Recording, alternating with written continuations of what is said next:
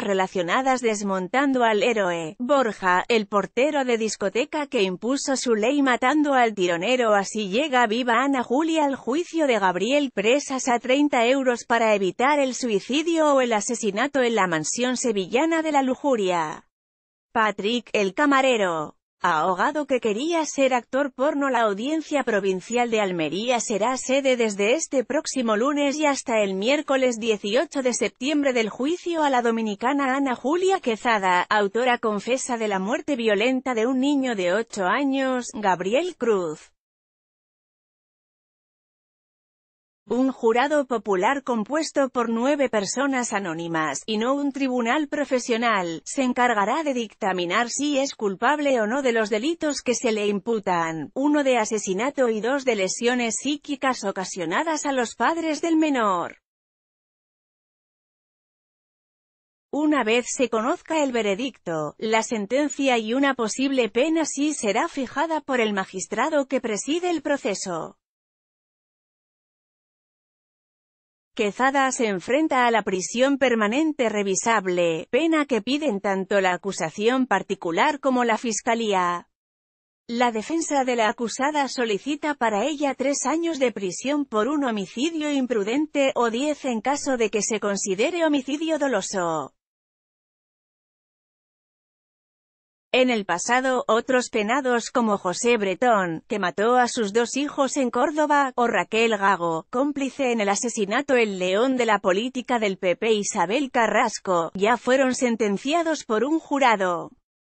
Esta figura volverá a aparecer en el juicio a José Enrique Abuín, alias El Chicle, que arranca el 29 de octubre de este año. El Estado, en base a la legislación española, abonará a cada uno de los componentes del jurado del caso Gabriel una retribución económica por cada una de las ocho sesiones que se prolongará el juicio.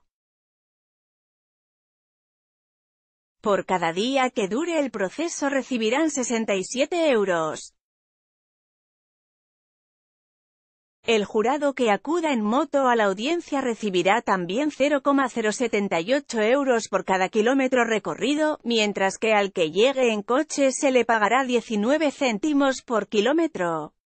Aquel miembro que por lejanía con su lugar de residencia tenga que hospedarse en Almería capital, dispondrá de un presupuesto de 65,97 euros por día. También tendrá un máximo de 18 euros con 70 céntimos para dietas, tanto para el almuerzo como para la cena. Desde 2006, el Consejo de Ministros no revisa las cuantías de las retribuciones e indemnizaciones correspondientes al desempeño de la función del jurado. Para que Ana Julia Quezada sea declarada culpable, al menos siete de sus nueve miembros deberán votar a favor de ello. Para su absolución, al menos cinco tendrán que hacerlo en dicho sentido.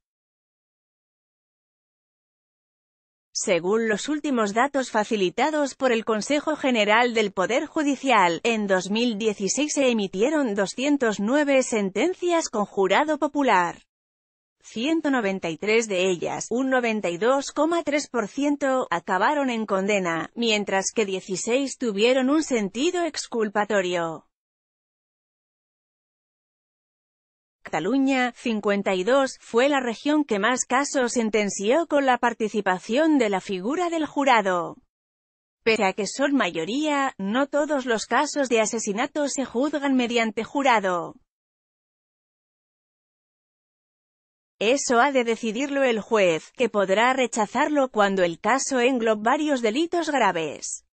Por ejemplo, en el juicio por la desaparición y muerte de Marta del Castillo no se recurrió al jurado porque a los acusados se les imputaba asesinato, violación y ocultación del cadáver.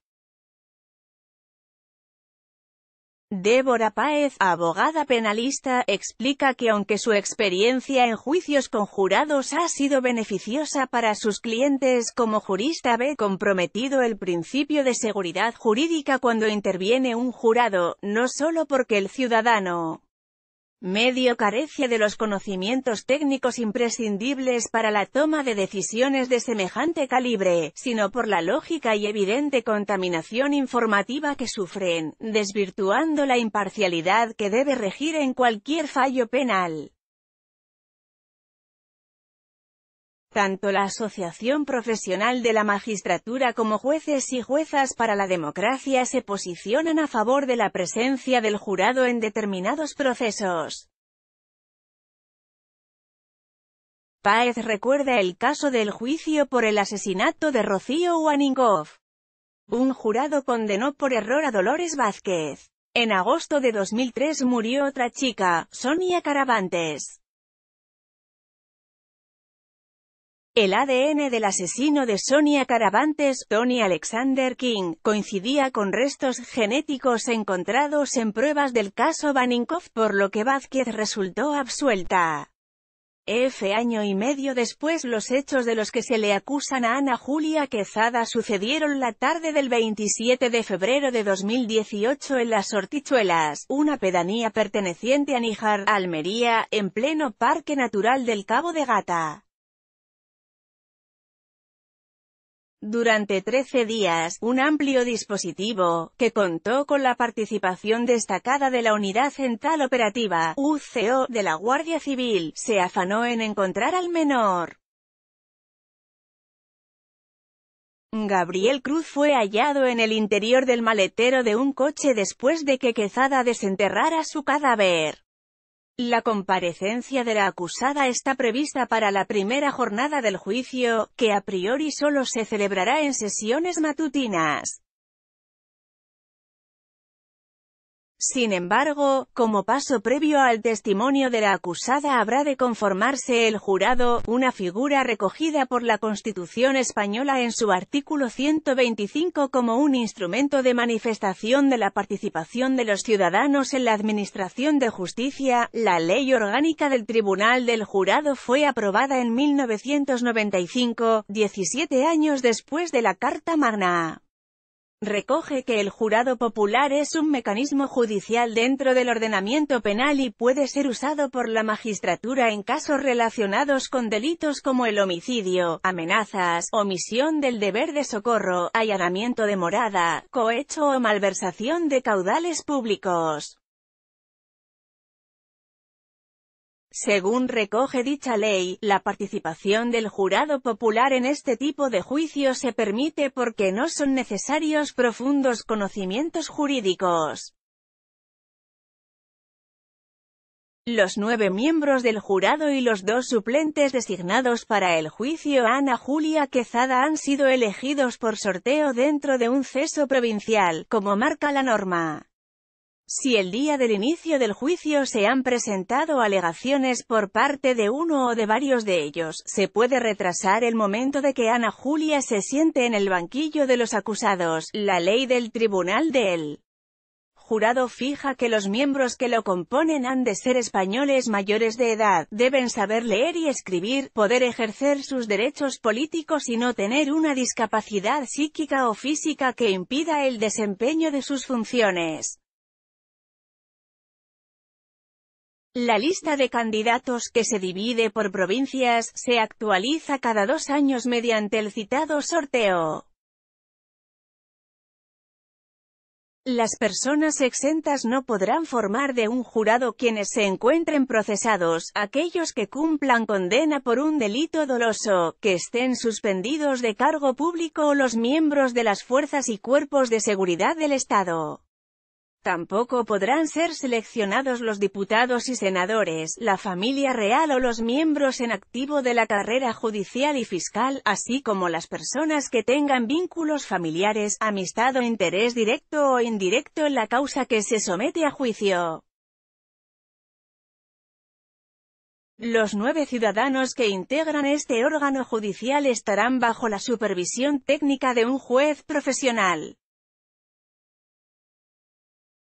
Dicho magistrado será el encargado de fijar el objeto del veredicto del jurado, ofrecerá a sus miembros las oportunas instrucciones sobre el contenido de su función, les transmitirá las reglas que rigen el proceso de deliberación y votación, así como la forma en que deben reflejar el veredicto. De ninguna manera podrá influir en la decisión del jurado, ni tomar parte en la votación final.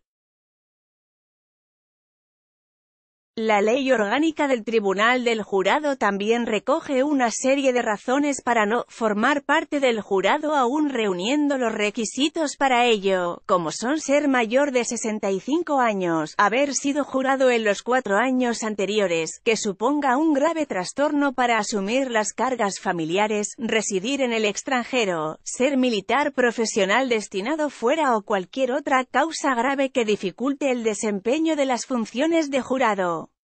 F. Durante el desarrollo del juicio, el tribunal puede realizar preguntas a los testigos, acusados y peritos.